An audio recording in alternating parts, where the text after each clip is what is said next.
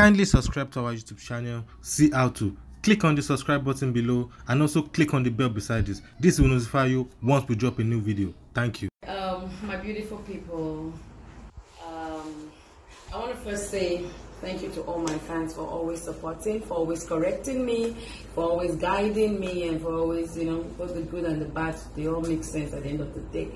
All right, um, this is especially begging all my fans and my beloved Nigerians. Please, can you stop calling Auntie Kemi Olunloyo Auntie Kem Kem? I originated that name when we had issues and she has sent me personal messages.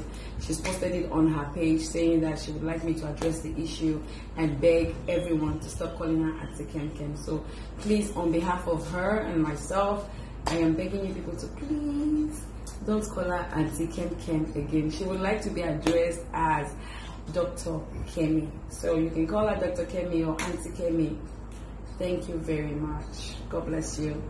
I love you. Thank you.